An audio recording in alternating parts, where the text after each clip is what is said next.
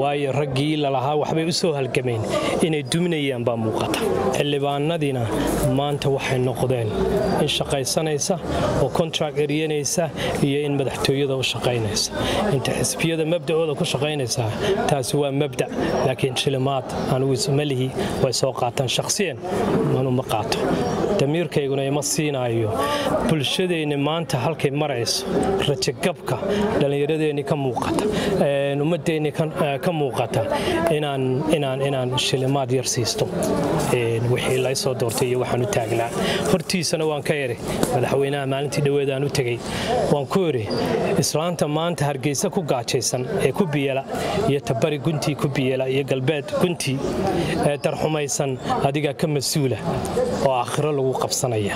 Kuwana kuu shaqeeya ee dooratay mas'uuliyadda qaadi maaya. Wuu soo dhoweeyo waa u qushuucay laakiin haddana foodadii halkiibay ka socotay.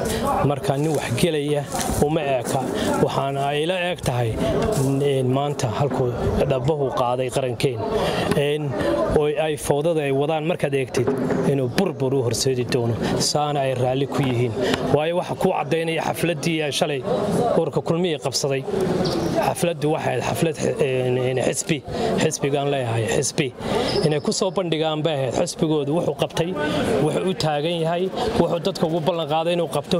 Laakiin sidaad wada arkayseen gebigeeduba waxayd aflagaado iyo cay ay kula kacayeen xisbiyada kale iyo shakhsiyaad gaar ayay ahayd. Taasuna maaha laga filayay xisbi qaranka hogaaminaya waxaad arkayseen ina kaahinoo markhaati macaaniga ii qabsaday xal baa la waday.